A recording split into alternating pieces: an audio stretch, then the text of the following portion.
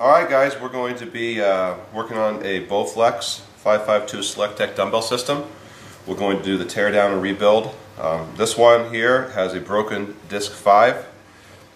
The dial is disc 1, disc 2, disc 3, disc 4, disc 5. So we're going to replace the disc 5 that came off. It was dropped or maybe just wear over time. It broke. And you can replace any other part on this process.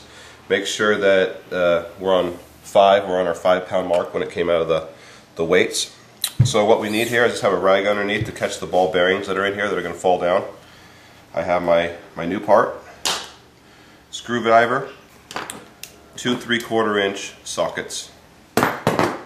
Alright, so um, this is a Series 1 system. I know that because it has red numbers on the dial. The Series 2 has the white numbers. I'm going to take my screwdriver.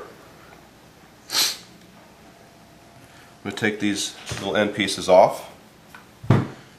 And be careful not to damage these. Put them back on later. And that exposes my two bolts. Just going to put the socket on each end.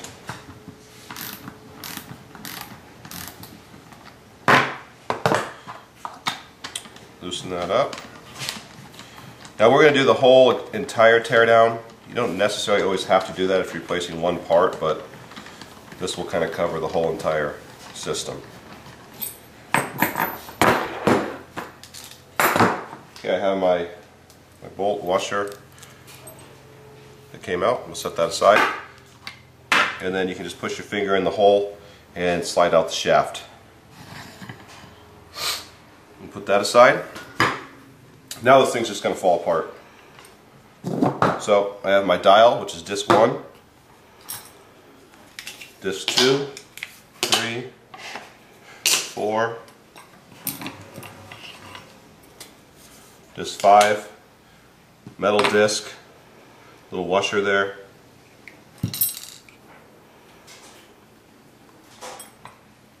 Two springs and two balls. The, uh, the little click assembly that allows you to change weights. You have your handle, and then you just have the exact same thing on the other side.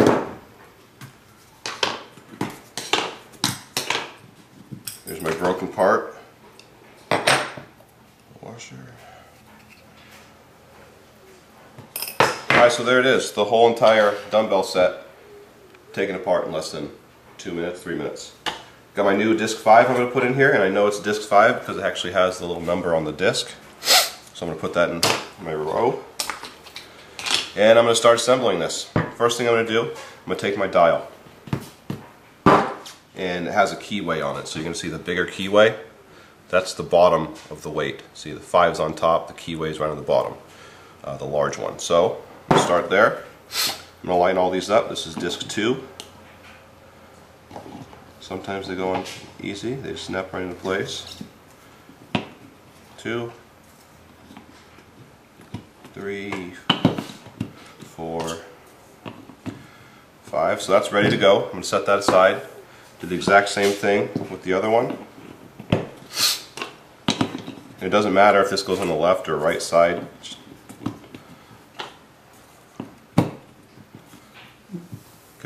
Are ready. Now I have my parts here with the springs and ball bearings. So what I have here is a couple holes that the springs go into. So that's where that's going to sit.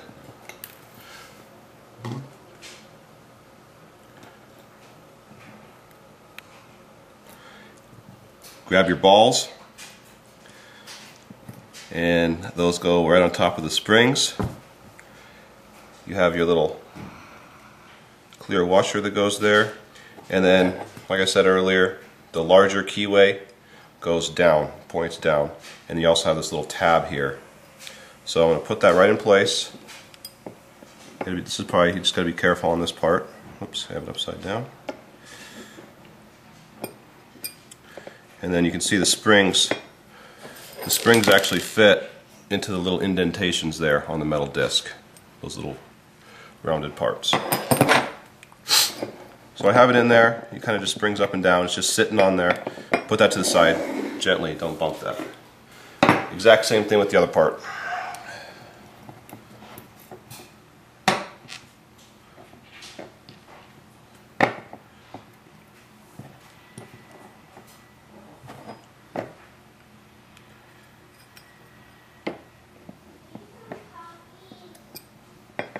All right, so everything's ready to go. Any parts that are new I would have in place now. I'm going to grab my shaft. I'm going to put the weights or the uh, the discs that hold the weights. I'm going to slide that on my shaft here. Guys, no bad thoughts here. All right, so that's ready to go. Oops, one of those came came off. Okay, it just came out of the little keyway, so I just I have everything locked in place. You can't. Now I'm going to take this assembly here and press it together so the springs don't come out. So I'm holding it together and I'm going to push it, turn it upside down so it goes on, and I have to line up the large keyway here.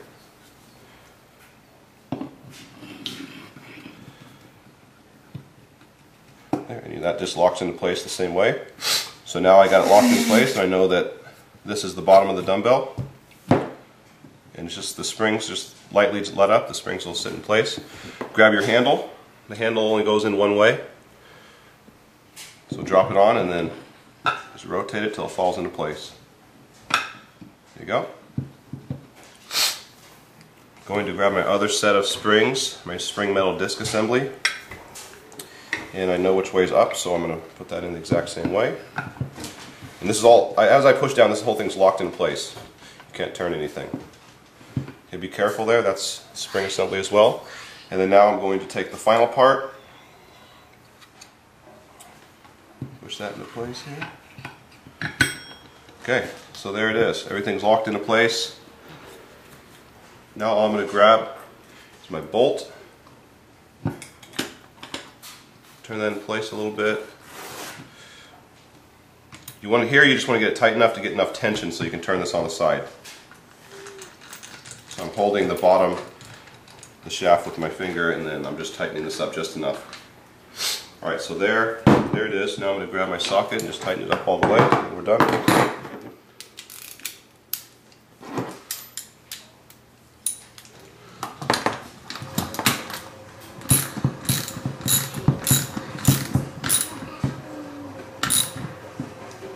Okay. Pointing 5 on top. So it should slide right into the, the weights. Put my covers back on. Now you might need to grab some glue and glue these back into place if they don't stick. So basically we just fixed our SelectTech dumbbell system. That one will probably need glued on. Um, you can get back to working out. So you can find these parts online on eBay and instead of just letting it sit there broken, fix it. Takes a couple minutes, you can get back, uh, back in shape.